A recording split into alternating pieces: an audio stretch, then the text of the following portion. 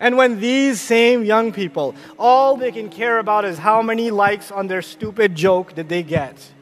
How many LOLs did they receive?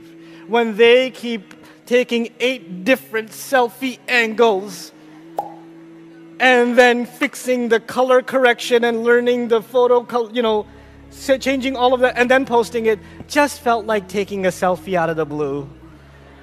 Uh, when you're so lost inside of yourself, when this device is, is basically your soul, when that's what's happened to you, then you're a lost cause. The enemy of Islam doesn't have to come and destroy you, he already did.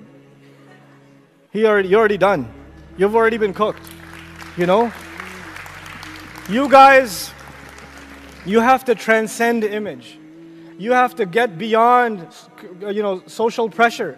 You have to get beyond what people think of you on campus if you're wearing a hijab. Instead of you feeling sorry that you're wearing hijab and they look down on you, you should feel sorry for them that Allah did not crown their heads with guidance. That's what you should be thinking.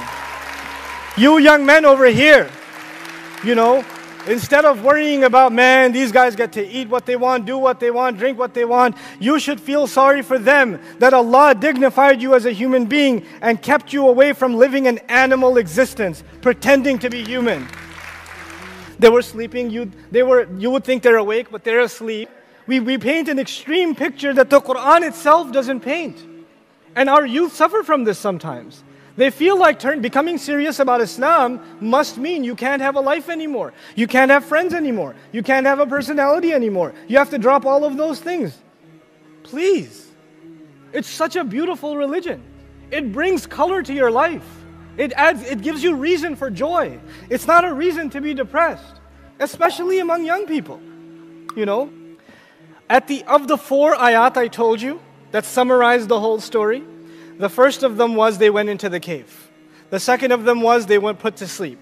The third of them was they woke up. And the last of them was that he's telling the story for a purpose. And by saying that, نَحْنُ نَقُصُّ عَلَيْكَ نَبَأَهُمْ بِالْحَقِّ We're narrating the story onto you for actual purpose. By saying that, Allah is teaching you and me that there is such a thing as learning the story and not understanding its purpose.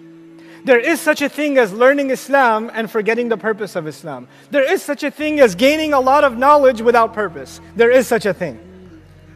And we have to be careful about learning with what? With purpose. We cannot lose sight of purpose. Everything we do must have purpose. This is one of the most powerful lessons taught in, the, in this surah.